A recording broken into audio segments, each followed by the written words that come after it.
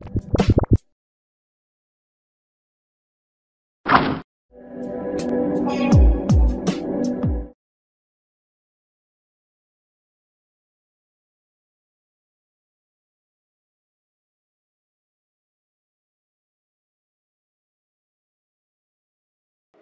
卫人权无罪，违法逮捕有罪，违法逮捕有罪，捍卫人权无罪，捍卫人权无罪，违法逮捕有罪，违法逮捕有罪，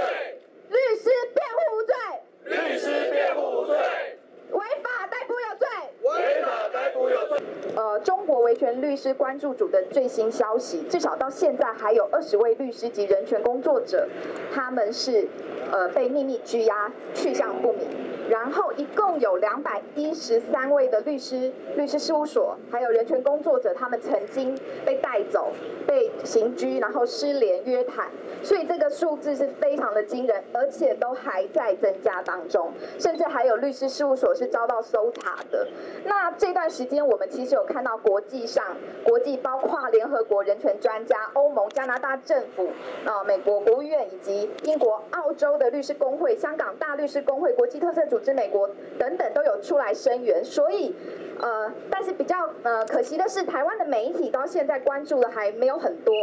那台湾的民间团体在上周一也开始召开记者会声援。那台呃，我们包括台北律师工会、屏东律师工会，今天有加入我们的这个声援行列。那我们当然期待全联会以及各地方律师工会都纷纷的加入。那以目前来说，我们的联署活动是破千人联署，然后一共有四十多个呃民间团体哈团体是声援这个活动的。那呃，中国政府当然是不乐见台湾的人民或政府出来声援呃中国人权律师，但是这件事情非常的严重，因为这一次呃中国大规模的是针对，尤其是针对人权律师的这样子的对象哈，所以我们必须必须一定要召开今天这样的声援活动，用行动出来在表达我们的立场。今天我们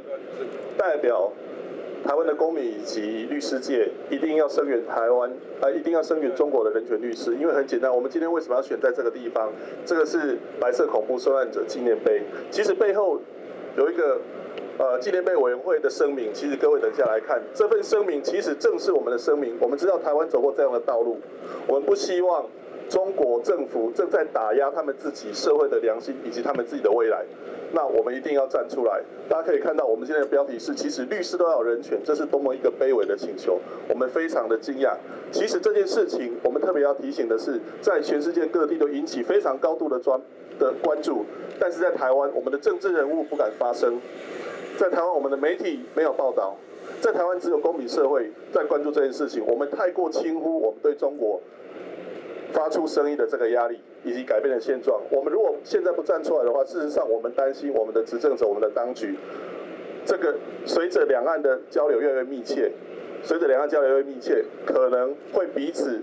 造成我们的法治的影响，而且逐步的下降，这是我们非常担忧的。呃，这边仅代表哈，就是我们台湾律师工会全国联合会的人权保护委员会呃代你的一个声明稿哈。呃，那我约略的呃提出我们全联会这边的看法如下。呃，依照联合国一九九零年关于律师作用的基本原则第十六条规定，各国政府应该要确保律师能够履行其其所有的职责，而且不受到恫吓、妨碍或是不适当的干涉。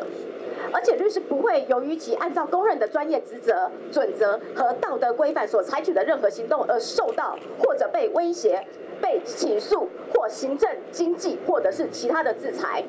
那这样的理念呢，依照联合国世界人权宣言第九条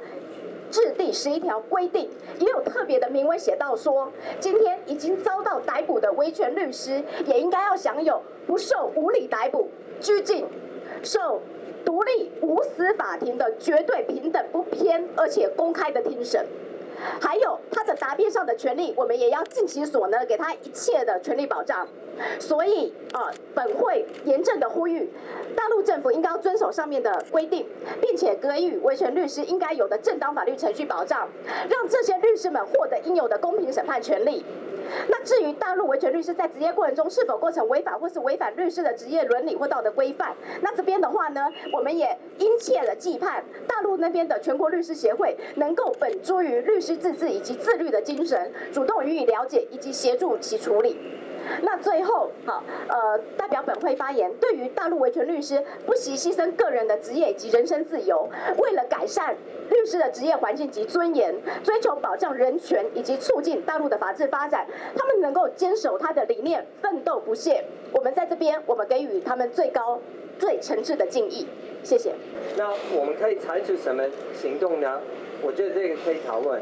我们呃，最起码应该有声明，应该有个声明。就是刚才我们知道那个联合国，台湾呃，不管是哪一些那个政党，他们都好像觉得台湾在国际参与应该积极一点，应该有更有平更有呃更有表表态。那我们其实这个是一个非常好的机会。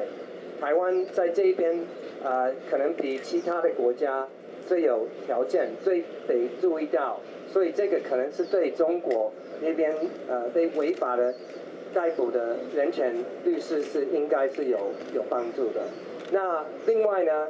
如果要这个是最起码的，那如果我们要再进一步，或是更啊更基本的，应该叫所有台湾投资在中国的撤资，政政府可以做。等一下我们会到那个经济部也有一个活动。那我觉得这个可能听起来哦不可能的事情。但是这个可以，呃，是可以用一个比较极端的那个呃出发点，那我们再谈，那我们政府应该做什么？当一个呃世界的一个负责任的政府。谢谢。大家知道，在两百四十名呃被逮捕拘禁的人权律师跟律师法律工作者的被逮捕的第一位是王宇律师，她是位女性，她的孩子包萌萌。在也因为十六岁的包萌萌，只是因为他妈妈是一个人权的律师，他妈妈曾经帮法轮功的学员辩护，他就在前往机场的途中被迫跟他爸爸分开，独自一个人被带到天津，被拘禁了四十个小时。这个中国政权，它可以因为我们律师在行在法庭上为我们当事人辩护，而对这个律师的家庭跟他的家人下手。我想在座很多的律师同道，你们也是父母亲，我们也有家人。在这个情况下，我们今天面临我们的工作跟我们的家庭，一个民主法治的政权不应该让律师在行使我们的辩护，在帮当事人行使辩护权的当中，还要去考量到我的家人有没有可能因为我所做的事情而遭受到迫害。那今天刚刚好，我们是选在白色恐怖的这个政治纪念碑前面。我想在好好多年以前，很多法律界的前辈。跟很多目跟现在这些中国的律师、人权律师，其面临到一样的状况。那我想请大家看清楚中国这个政权的本质。台湾，我们是个民主法治的国家。今天非常开心看到这么多人站出来，也邀请台湾的所有的朋友，如果你们认为民主法治、自由人权是台湾应该坚持的价值的话，请大家站出来声援中国人权律师。谢谢大家。